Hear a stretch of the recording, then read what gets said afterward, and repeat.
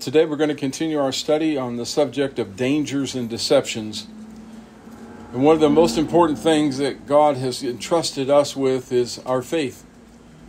Our faith is so important that God said, without it, you cannot please Him. Amen. For it is impossible to please God without faith. So faith is vital. It's like the heart, if you will, of your spiritual walk. It needs to be guarded in that light, Proverbs chapter 4, verse 23 teaches us that above all else, look here, above all else, guard your heart, for out of it comes the well springs of life. Let me tell you something. You can take a few traumatic blows spiritually and be neutralized for months. Satan wants that. He knows how to neutralize you. He goes after your weakest points. So we must use the shield of faith to extinguish the fiery darts of the evil one. Yes. I want you to see that for yourself in Scripture. Ephesians chapter 6. Just hold your finger and flip over there.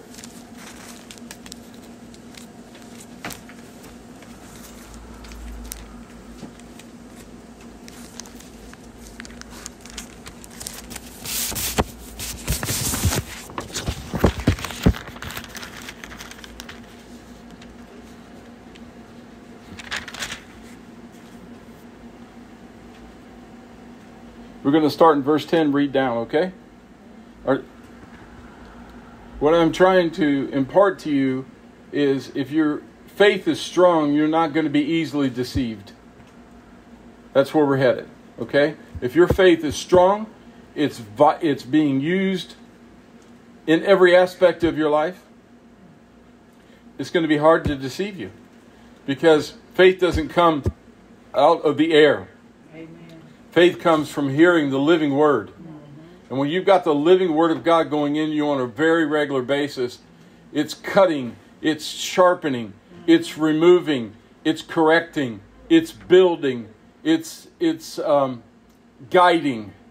The word, the word, will guide you, and the word will give you discernment beyond these eyes, beyond these ears. Discernment comes from within, it comes from above.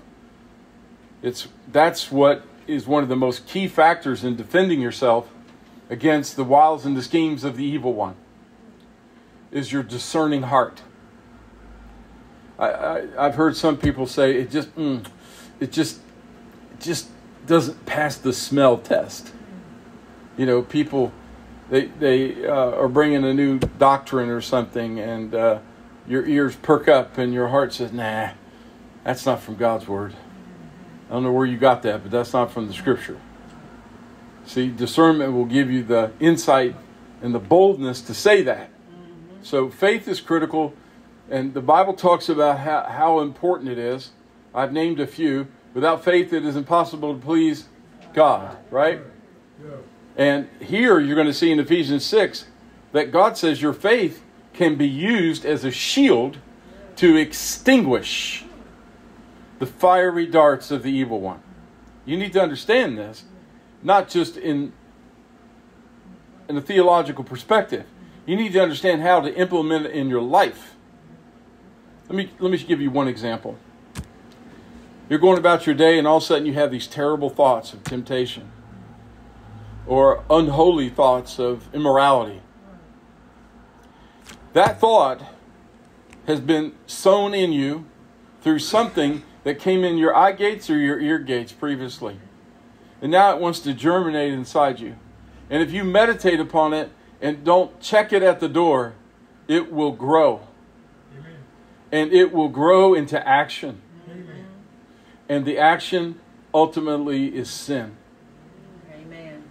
See how, but the scripture has a remedy.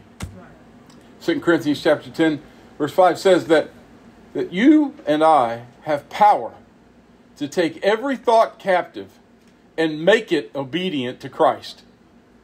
So your thoughts, if they're not checked, if they are unholy, can lead to sin. Point. Amen. Okay, you got to get that. So here, I want you to see how using your faith to walk in the passage in 2 Corinthians 5:10 that I just talked about that you and I would extinguish those nasty thoughts that lead to sin in our lives. Amen. Amen. Tracking me so far? Amen. So it's your faith. It's your faith that moves you. Oh, I remember that scripture. Okay? I know that scripture. And how, how can I utilize that scripture? How does that work in my life? So the next time you have these unholy thoughts, that scripture comes to your mind, and you go, mm, I'm, I'm not going to tolerate this. This is God's temple. I'm going to use my faith and extinguish and take that thought captive and make it obedient to Christ. There, there's a full circle example from a temptation to a discernment to the exercising of your faith to the utilization of that scripture to take that thought captive and put it to bed. Amen. Put it to put it to death, rather. Okay? Does that help you? Does that help you? I hope? Yes. Yes. All right. So here in Ephesians chapter 6 verse 10, it says, "Finally, my brethren, be strong in the Lord and in the power of his might.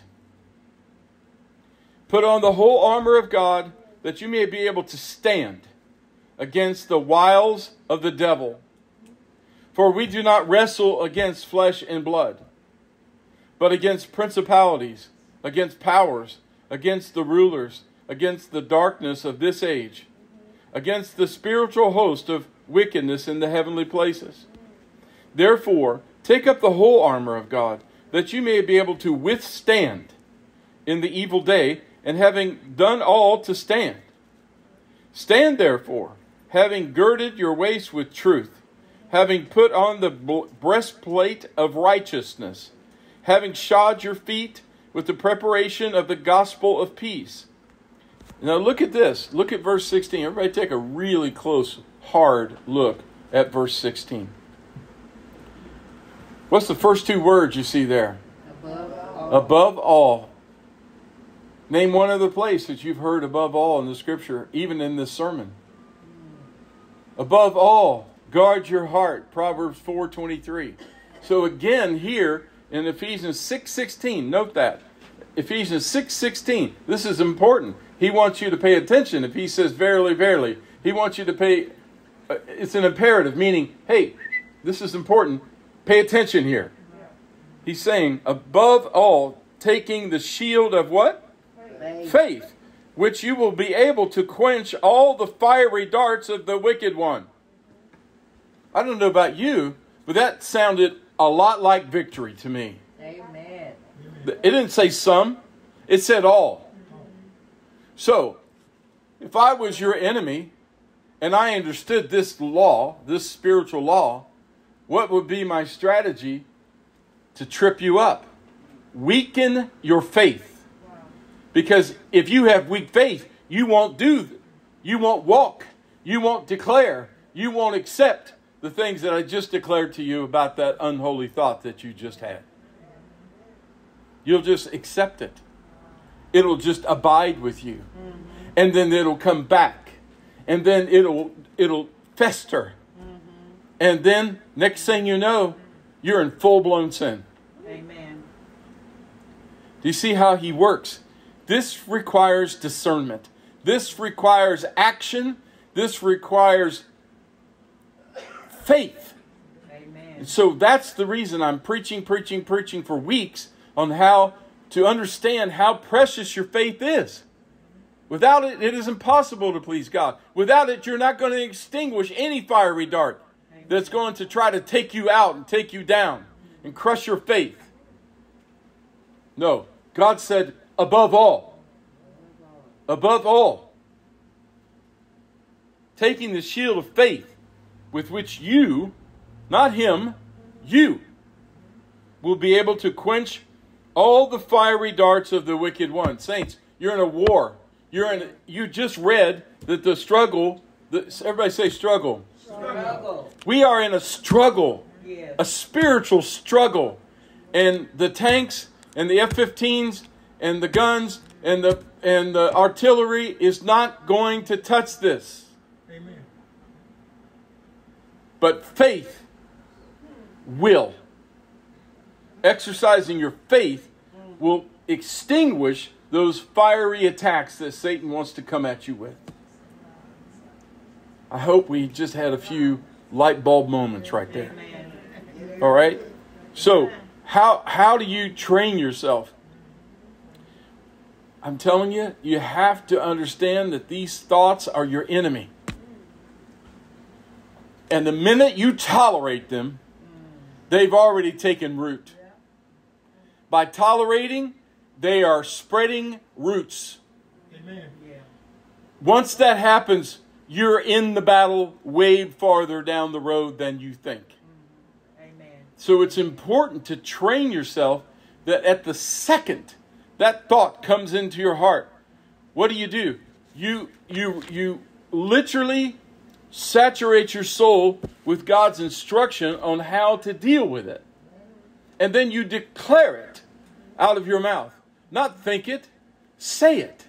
The apostle Paul said, "I believe, so therefore I speak." So if you believe that this scripture in Second Corinthians, turn there with me. If you believe this, then you have to act. Uh, let me let me put it like this: spiritual things are consummated through agreement. Let me show you an example at a marriage ceremony. A man and a woman, two different last names, two different families, two different bloodlines. They come together under God and they make an agreement. And then they vocalize the agreement. And when they agree to the terms that they have announced with their mouth, the man of God says, I pronounce you man and wife. You are no longer two, but you've become one under God. What happened? Two different individuals became one under God through the proclamation of, of agreement. So if you agree with these thoughts, they're in, they're staying, they're working. If you disagree and then exercise the sword of the Spirit, meaning the word of God, against it, it has to go because the word of the Lord triumphs everything. Amen. It says in James chapter 4, verse 7 Submit to God, then resist the devil, and he shall flee from you. Those unholy thoughts that lead to sin are not from God. Amen. Amen. And here it says, You, you have the power to deal with it. Let me show you a fine example. Jesus in Matthew chapter 4 was approached by the evil one himself. Notice that the evil one quoted scripture directly to Jesus. Is that not frightening to you? If he's quoting scripture to the one who created him, what does that say? Who are we? Amen. And do you notice ponder this with me, fly over that day like a bird. Did Jesus call the legion of angels in that moment on the mountains of temptation? Matthew 4 4. No. Did he call? Did he call on the Father? No. What did he do? He declared the word of God. He said, It is written. It is written. It is written. And Satan left him. Right there is a real life scriptural example of what I'm teaching. Jesus Christ did it himself. Tracking that? Amen. Now in 2 Corinthians, hold on just a second here. Hold on just a second, brother.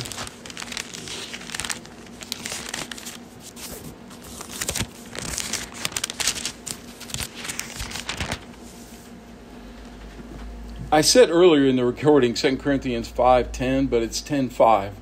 So um, we need to correct that. Turn with me to 2 Corinthians chapter 10, verse 5.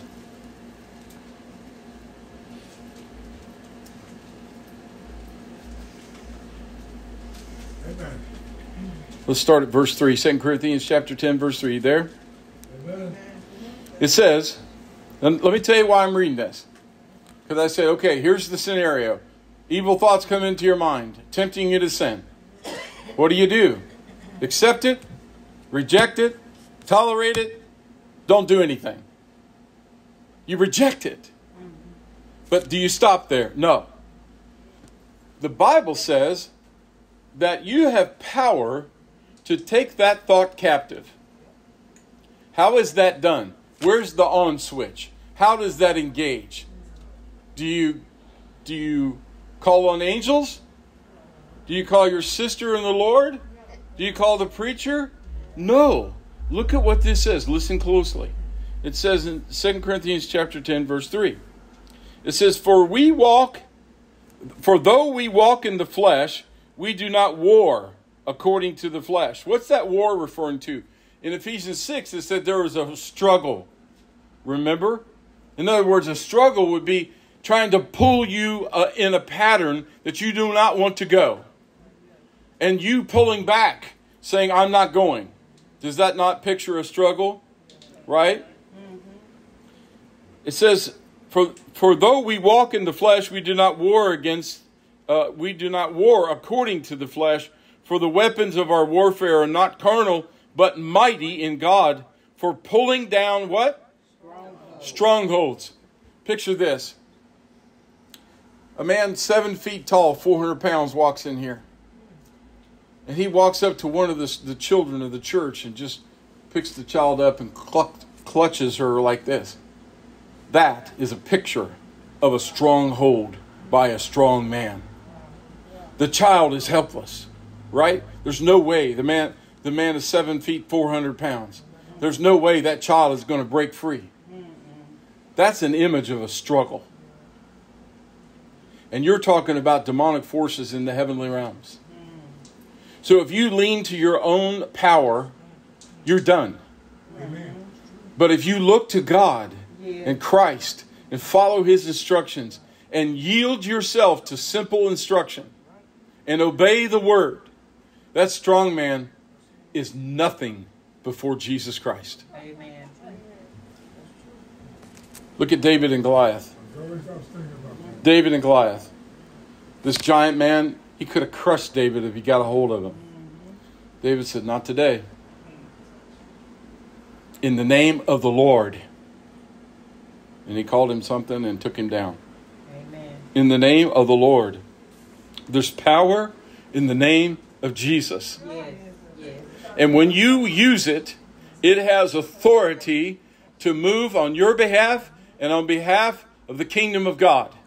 So you taking a stand and exercising your faith is an action point that brings glory to God and it liberates you from this struggle of constantly being tempted and constantly being and su- let me just ask this how many people have suffered from mental suffering I rest my case. I rest my case. I'm hitting it right on the head here with a big hammer. Yes. Because you can stop mental suffering. You can stop it. It's an attack from the enemy. No longer tolerate it. Come to your senses and say, I, I do not need to suffer this. I refuse to let this abide in the temple of God in which I am, and where the temple uh, has been set inside of me for the Holy Spirit of God to dwell. I am a gatekeeper. I refuse these thoughts that are unholy in the holy temple of God in which I am. Amen. Do you see how quickly that game changes when you're walking in the authority of God? So it says in verse 3 For though we walk in the flesh, we do not war according to the flesh, for the weapons of our warfare are not carnal, but mighty in God, for the pulling down of strongholds, casting down arguments and every high thing that exalts itself against the knowledge of God bringing every thought into say it with me Cap- captivity to the what? To the obedience of Christ and being ready to punish all disobedience when your obedience is fulfilled You have authority to capture those unholy thoughts that are creating mental suffering inside of you. Your, your body says, I can't do this. It's against God. I don't want to do this. And that thought is taking you down a path that leads to destruction. Amen. If you don't check it, if you don't take it captive and submit it to Christ, it will torment you. Mental torment will abide unless you use the Word of God to eradicate it. This is how you can guard your faith. And weak faith is not going to operate at this level that I just described to you. This kind of faith is dangerous to the enemy Amen. because you can stop the temptation. And if you stop the temptation, Satan has no other power ex- over you except that which God would give him or that which you release to him. Stop. He only can tempt you. And if he that's all he came, that was his toolbox with Jesus. He kept throwing carrots out in front of Jesus like he's going to tempt the Son of the living God. How foolish. It's it's a it's eye opening, isn't it? Yeah. Amen. It's very very much eye opening. So it I hope that in just this short exhortation that you have caught a spiritual discipline that will free you from mental suffering. This is a discipline that has to be exercised. I, I catch myself driving down the road and I'll have this crazy thought. I, I thought, good, good night. I'm a man of God. I'm not supposed to be thinking like that. Oh, this is my cue. This is my cue. I say, in the name of the Lord Jesus Christ, I take this thought captive and I make it obedient to my God, my Lord, and my Savior. And I refuse to let this thought abide in me. In Jesus' name, leave me. Just that fast, my mind will change. This is war. Yes. And if you think it's not, you're greatly deceived. Yes. Yes. So in 2 John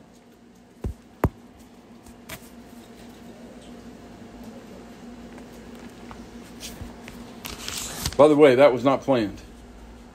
What I just gave you was not in my notes. So we'll we're going to pick right back up where we left. In 2 John chapter 7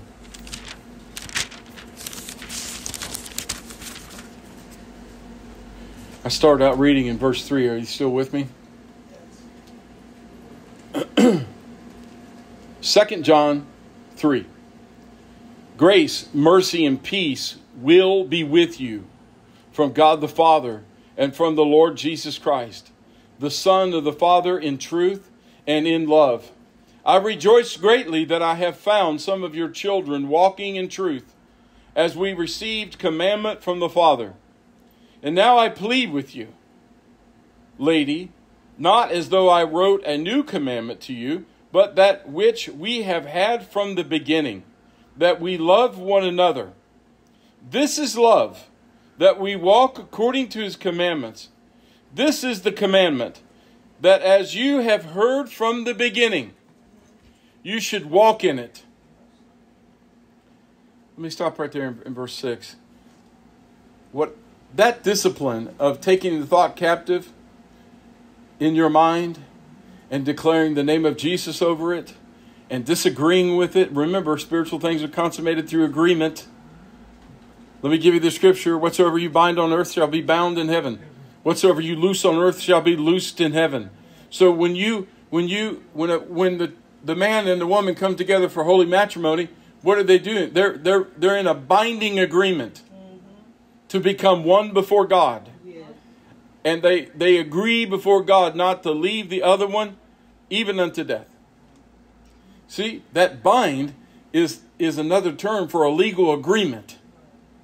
In the courts of law, they'll say, this is binding. In the insurance companies, they, they buying coverage over a property, over a car. I get emails. Okay, Pastor, we got that church, ba- we got that, that bus. It's, it's bound. It's good. You can roll it. So when, when you take that thought captive, you're binding it and you're dismissing it from your thoughts under the authority of the holy name of Jesus. This is an invisible discipline.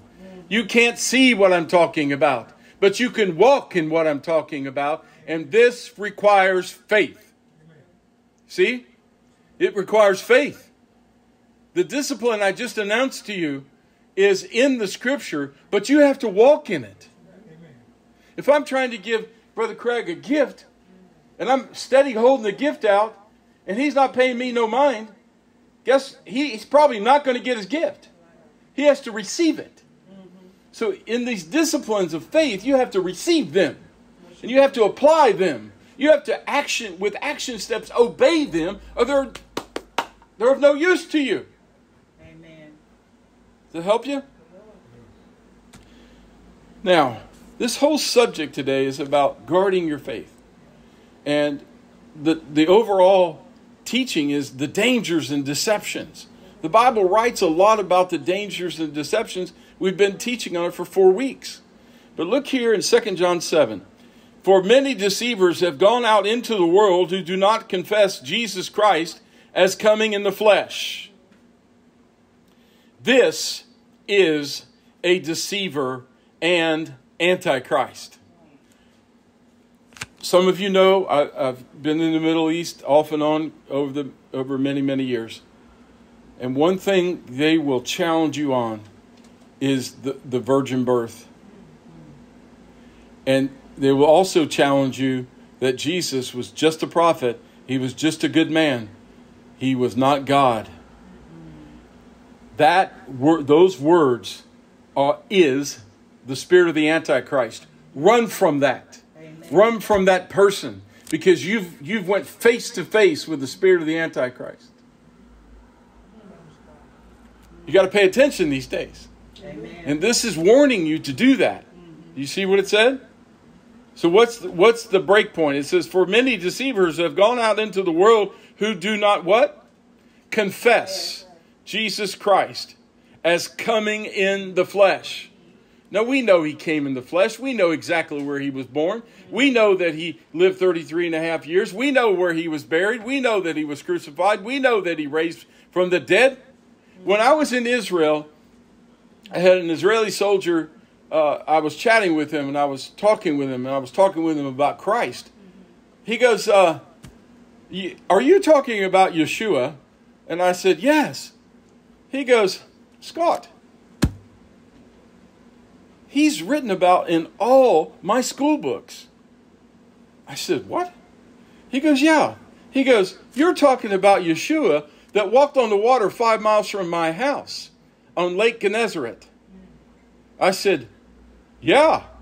He goes, Everybody knows this. Young Israeli soldier lives five miles from where Jesus walked on the water. It was firsthand news to him.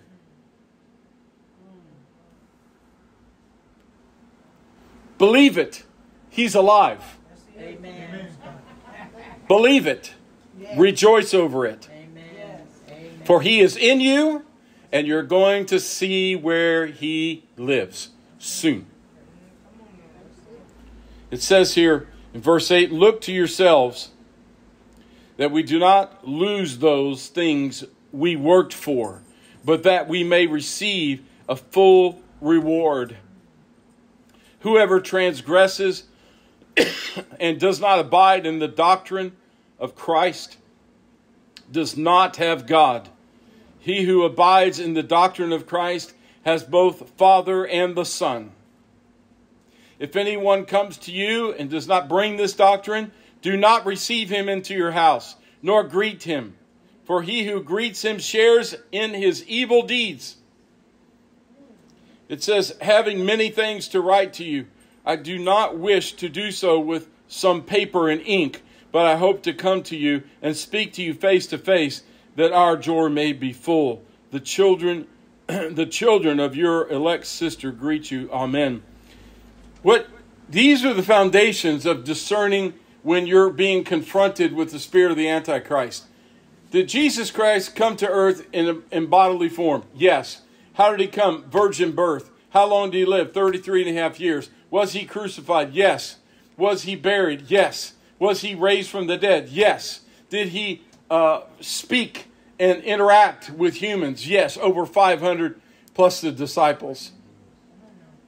Did he ascend into heaven? Yes. Where is he now? He's seated at the right hand of God in his priestly high priest office forever. What is he doing? He's making intercession that you and I come home Amen. and that we have a safe journey. Yes. I don't know about you, but I'm really excited about that. Amen. I'm thrilled about that. That we're on our way to see Jesus, the King of Kings, the one who made all things, the one who holds all things together by his spoken word. Amen. That's who you've come here to worship. Yes. Yes. And God does not want you subject to the follies of the evil one. He's telling you, wake up. You're in a war, a war, a war, a war. You're in a war. Pay attention. You're not talking about him taking your Tonka truck or your Barbie doll. He wants to kill your faith. Amen. There's never been a more serious sermon. Amen. You have to pay attention. Thank you for letting me share.